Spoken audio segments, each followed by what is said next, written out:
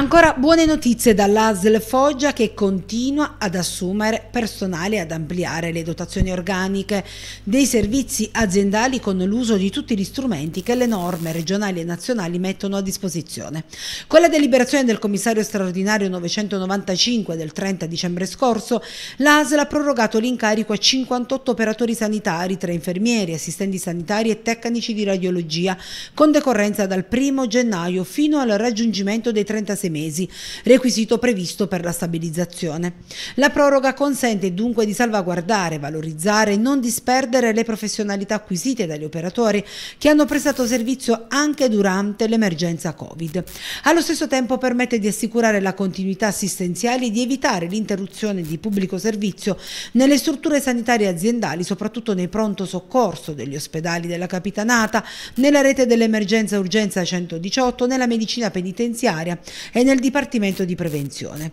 I 58 operatori sanitari si aggiungono ai 197 già ammessi alla procedura di stabilizzazione con la deliberazione del commissario straordinario 994 del 30 dicembre invece sono stati ammessi in ruolo con trasferimento definitivo 32 operatori sanitari provenienti da altre ASL che già prestavano servizio a tempo determinato nell'ASL Foggia.